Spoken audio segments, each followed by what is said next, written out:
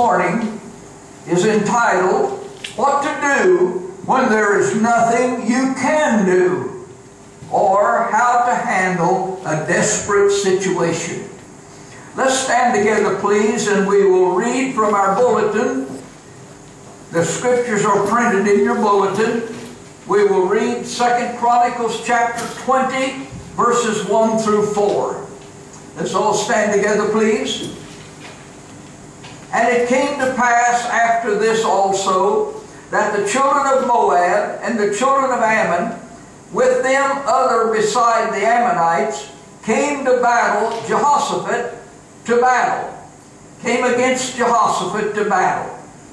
And then there came some of that told Jehoshaphat, saying, There cometh a great multitude against thee from beyond the sea on this side Syria. And behold, they be in Hazazon Tamar, which is in En-gedi. And Jehoshaphat feared and set himself to seek the Lord and proclaim the fast throughout all Judah.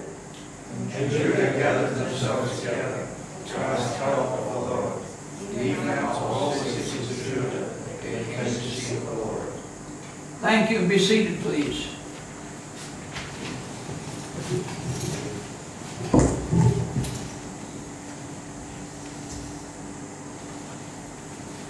What to do when there's nothing you can do? There are some things you can do in certain situations. If you're sick, you can go to a doctor. If you lose your job, you can find another. If you have a flat tire, you can put on the spare. If your house burns down, you can build another. There are some things you can do in certain situations. Somebody wrote, For every evil under the sun, there is a remedy or there is none. If there is one, seek until you find it. If there is none, never mind it. However, there are some things you can't ignore. If you're standing on a railroad track and your foot is caught in the track and there's a train bearing down on you at full speed, you can't ignore that. There are some situations that we are not able to change. Sometimes difficulties come into our lives that we cannot control. We have no control over them. What can we do? For instance, if the state decides to build a freeway through your property, there's nothing you can do about that. You cannot change the laws of your land. You cannot stop a tornado. You cannot reverse the waters of a flood. You cannot save yourself from your sins. You cannot resurrect yourself from the dead. There are some things you cannot do. And yet we are confronted from time to time with situations that require something to be done and there's nothing we can do. It is beyond our ability to do anything about it. What do we do then? At times like that, we want to take matters in our own hands. We want to do something. However, Israel, standing at the Red Sea, they had Pharaoh and his army behind them. They had the mountains on each side of them and the ocean in front of them. And there was nothing they could do. In a few moments, Pharaoh would catch up with them and destroy them. In a few moments, they couldn't climb the sides of the mountains. They couldn't swim through the ocean. Here they're standing at the edge of the water. What can they do? And Moses gets a message from the Lord. Stand still and see the salvation of the Lord. Stand still with an army coming behind me and the mountains on both sides and the river in front of me. Stand still? Yes. Stand still and see the salvation of the Lord. In other words, stand still and watch what God is going to do. And when the Christian gets in a strait and a problem, there are times there's nothing he can do about it. He needs to call on the Lord and stand still and see what the Lord will do. Now, we want to take matters in our own hands. At least we like to try to. But when a person is in a strait, an extraordinary difficulty, and he cannot retreat, he cannot go forward, he's shut up on the right hand and on the left hand, what will he do? The Master's word is stand still and see the salvation of the Lord. But voices will come to him. One voice will say to him, despair, just lay down and die and give up. You can't handle it anyway. Or another voice comes along called cowardice. And cowardice says retreat. Go back where you came from. The Christian life is something you can't handle. Just go back. Cowardice. Then precipitancy cries out to us, do something, stir yourself, accomplish something. And yet there's nothing we can do. Then presumption comes along and says, if the sea is before you, march into the sea and look for a miracle. Presumption is the wrong voice. And then stand still and see the salvation of the Lord. Now, there are some principles in our story this morning about Jehoshaphat, the king of Judah. He was the fourth king of Judah, and he received some bad news. There was nothing he could do about it. These principles that, Joshua, that Jehoshaphat adopted will help you and help me. What do we mean when we speak of a desperate situation? We mean it's something that's out of our hands. It is completely out of our control, such as grief, or a trial, or affliction, or a marital conflict, or something that we cannot control. What do we do? It's a situation where we would have no say-so in the matter. Jehoshaphat received word that there was coming down on he and his people three different armies, all of which were larger than his army. He had no prayer whatsoever, no chance whatsoever of defeating these three mighty nations. The Ammonites, the Moabites, the Edomites, they were coming. They were armed. They were marching. And soon they would be upon he and his people. What would Jehoshaphat do? A great multitude marching with the intent to destroy every one of them. First, let's look at the desperate situation. Verse 1 and 2. It came to pass after this also that the children of Moab and the children of Ammon, and with them beside the Ammonites, came against Jehoshaphat to battle.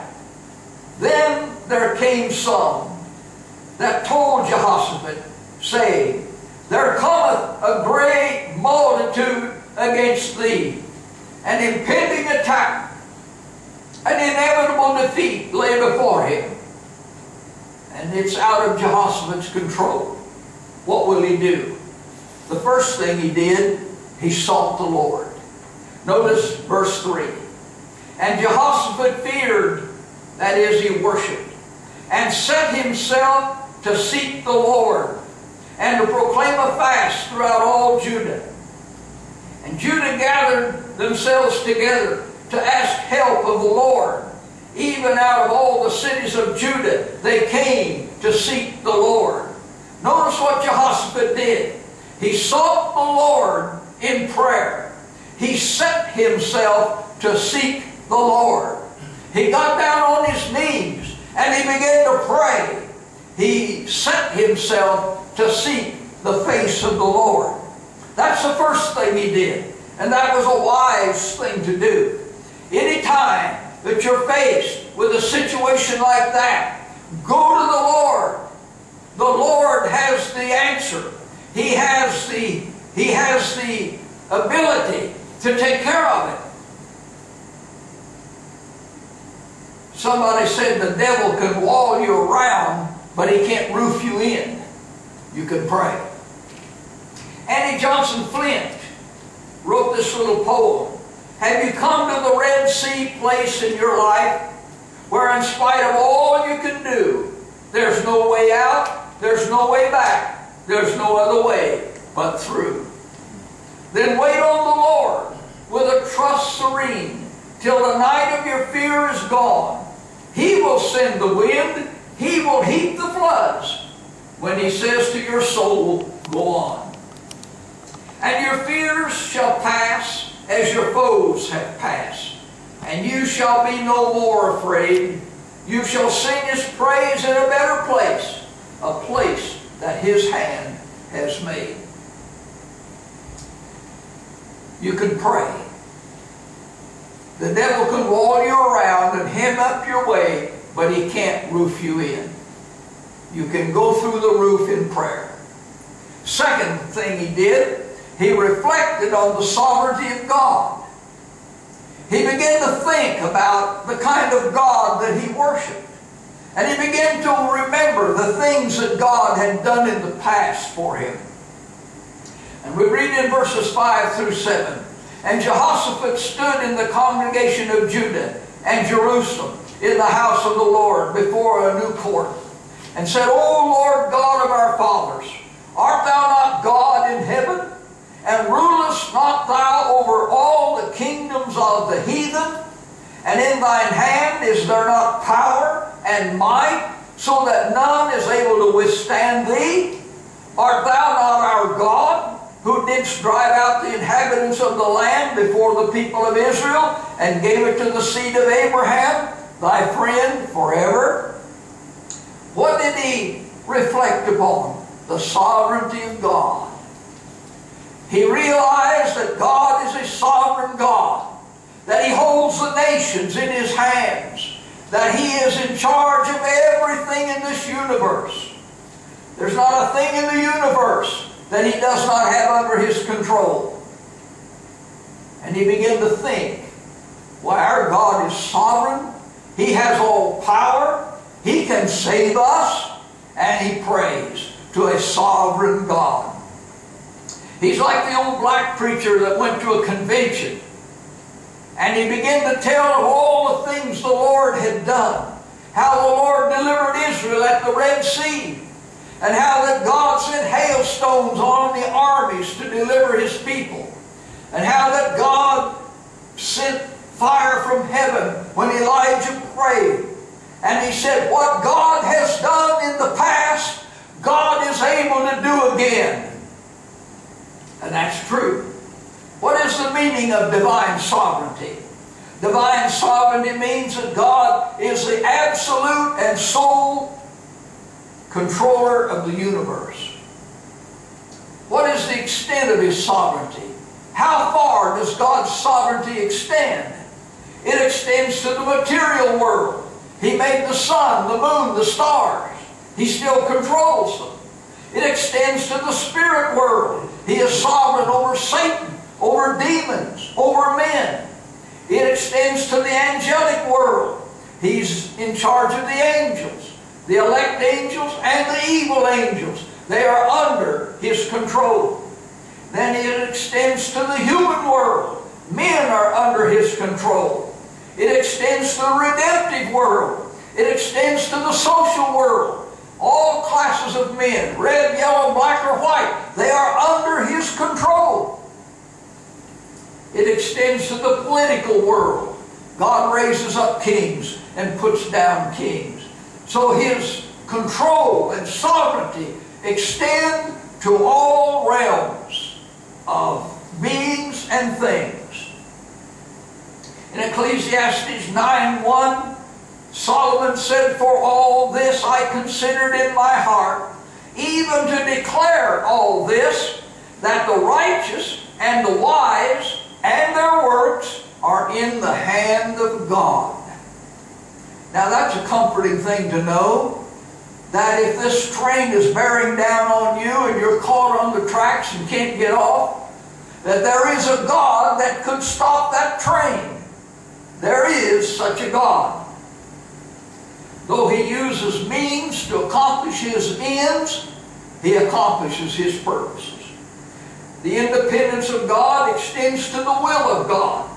Daniel said, And all the inhabitants of the earth are reputed as nothing, and he doeth according to his will in the army of heaven and among the inhabitants of the earth. And none can stay his hand or say unto him, What doest thou?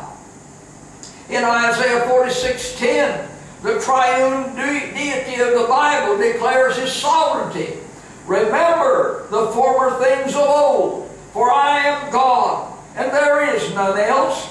I am God, and there is none like me, declaring the end from the beginning, and from ancient times of things that are not yet done, saying, My counsel shall stand, and I will do all my pleasure.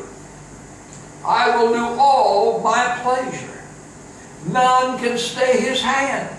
No one can stop him from delivering his people. The third thing he did is that he recognized that he had a problem. Most people fail to recognize that they have a problem. And you're never going to get your problem solved until you recognize that you have a problem. When you recognize your problem, then you can take the problem to God. He knows about it anyway, but He wants you to bring it to Him so He can dispose of it. The fourth thing He did was He summarized His own helplessness and His dependence upon God. In verse 12 and 13, He said, O our God, wilt Thou not judge them?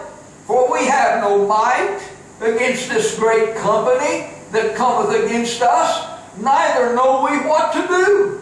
But our eyes are upon thee. And all Judah stood before the Lord with their little ones and their wives and their children. They said, Lord, we're helpless. We don't know what to do. We have no might. We have no power. And they're coming down upon us. They'll be here soon. Oh, Lord, what will we do? Have you ever been there? I've been there. I've been there. Lord, what am I going to do? I don't see any way out. Lord, if you don't make a way, I'm a goner. And you know He's never failed to make a way. We had a lady in our church one time, a Thai lady. She was our pianist. And she had a song that she sang a lot. God will make a way. God will make a way. It's a great song because He does make a way when we bring our problem to Him.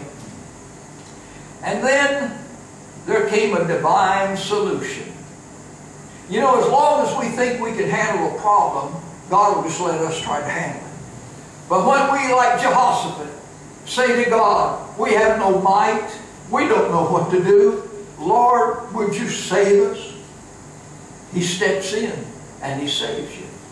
But He wants you to acknowledge to Him that you have no power and you have no might and you have no wisdom. And when you acknowledge that to Him, He's ready to step in and help. Then there came a divine solution. One of the men in the camp, in the congregation, stood forth with a message from God. And you know, I like the idea that it was in the midst of the congregation. If you need help, you know where to find it? Find it in the congregation. God will speak to you in His assembly, in His church. Verse 14. Then upon Jehaziel, a Levite of the sons of Asaph, came the Spirit of the Lord in the midst of the congregation. Notice where it took place. The help came in the midst of the congregation. And he said, Hearken, ye all Judah and inhabitants of Jerusalem, and thou King Jehoshaphat, thus saith the Lord unto you. God will answer you. He'll answer your prayer. He'll answer your cry. He'll answer your call. One of the men stood forth in the congregation and said, Hear the word of the Lord. God always has a man And you know where to find the help that you need? You find it in God's house.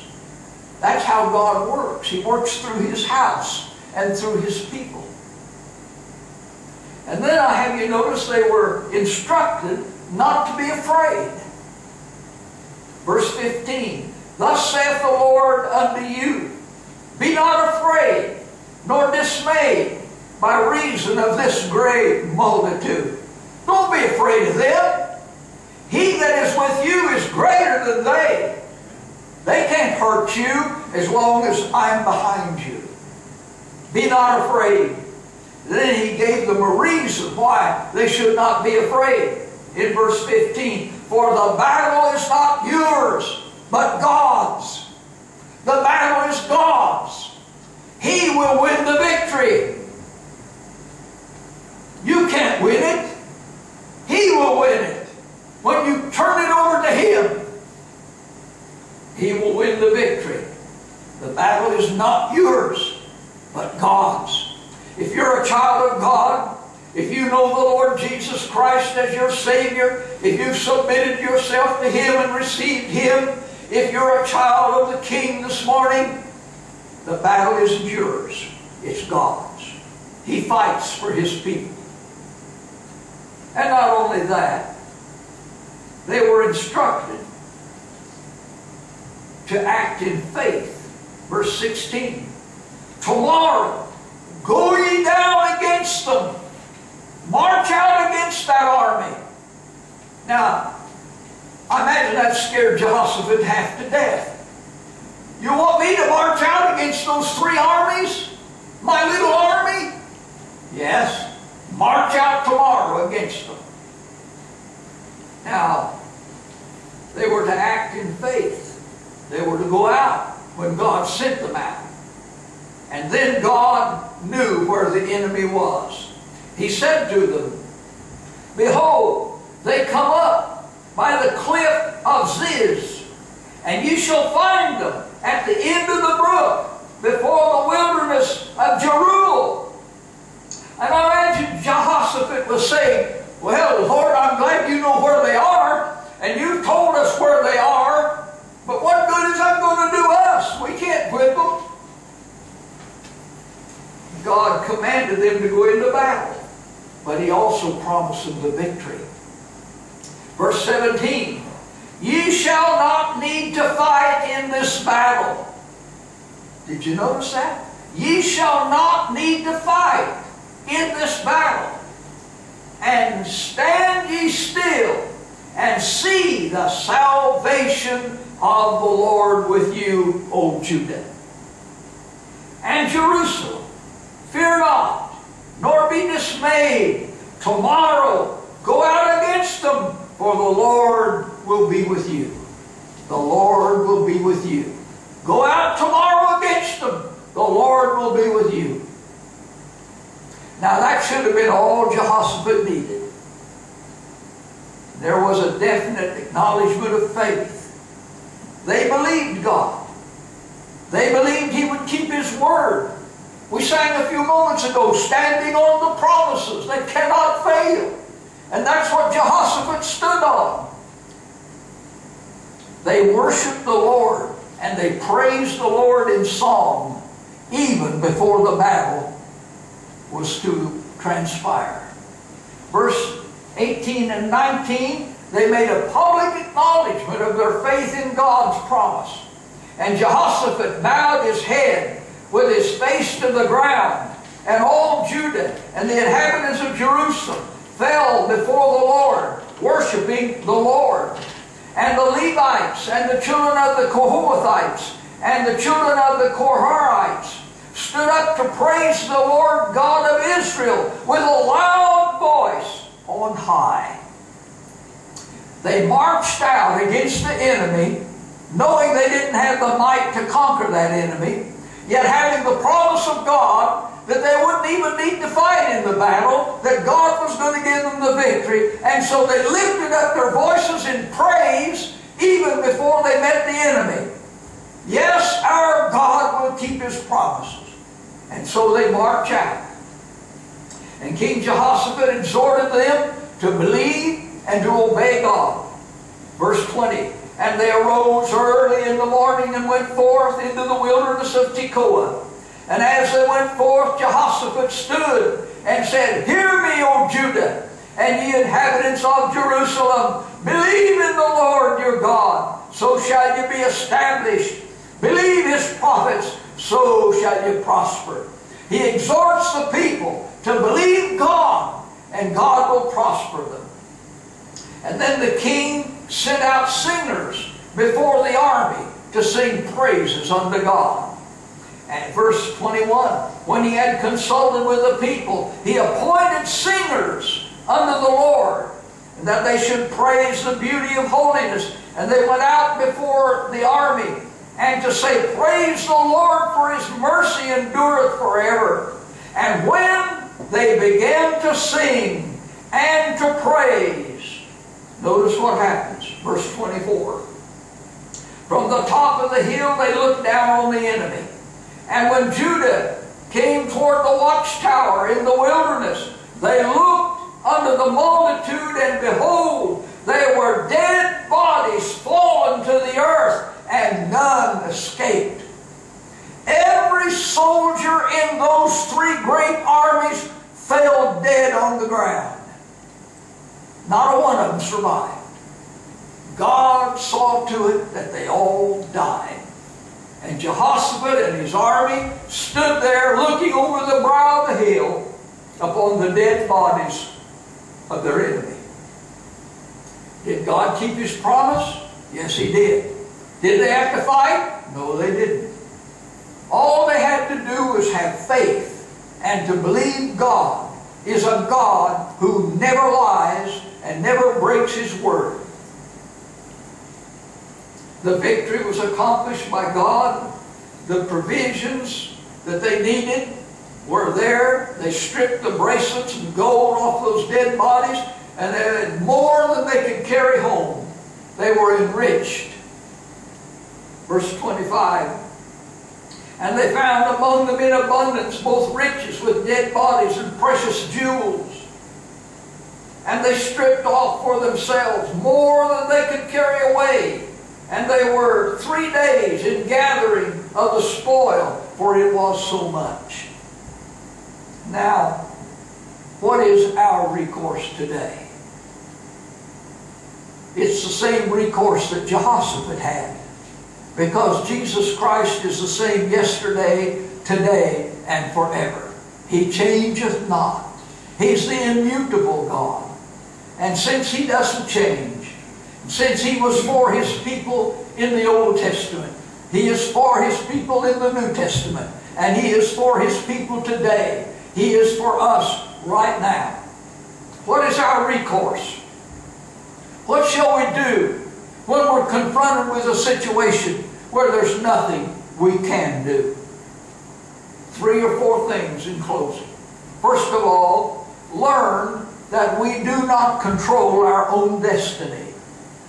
Your destiny is in the hands of a sovereign God, the omnipotent God, the God that delivered Jehoshaphat and Judah from those three great armies.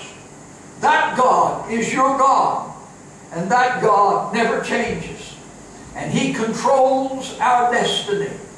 Every step that we take is under His direction. The Bible says the steps of a good man are ordered of the Lord. Learn that we do not control our own destiny. And we look to God who controls all things. Jeremiah 10.23 O Lord, I know that the way of man is not in himself. It is not in man that walketh to direct his steps. You see, God directs your steps. Psalm 37, 23, And the steps of a good man are ordered by the Lord, and he delighteth in his way. What then shall we do? What is our recourse? Secondly, like Moses at the Red Sea. And Moses said to the people, Fear ye not, stand still, and see the salvation of the Lord, which he will show to you today. For the Egyptians whom ye have seen today, ye shall see them again no more forever. The Lord shall fight for you. And God fought for Israel that day, drowned Pharaoh and his army to the very last man. The second thing is hear Proverbs chapter 3, verse 5 and 6. Take this to heart. Trust in the Lord with all thine heart, and lean not unto thine own understanding. You've got to get that problem out of the way. Lean not to your own understanding. In all thy ways acknowledge him, and he shall direct thy paths.